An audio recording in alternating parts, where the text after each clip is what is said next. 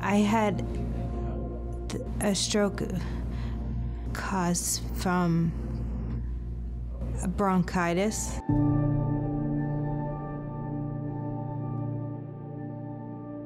My therapy team was really good.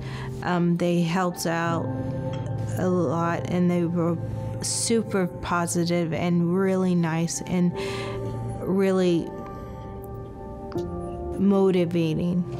Basically, the doctor said she totally had forgot about the right side of her body and she wouldn't even look to the right. The right side of her will didn't exist anymore. So, since since we had we had a little bit of therapy at KU just because she was there, but once we got here, they really started working with her, getting her to break that cycle, getting her up, weight bearing, started walking. They, you know, they used the wheelchair for a while, then they got her walking with the with the belt and help until the point now that she can get around by herself.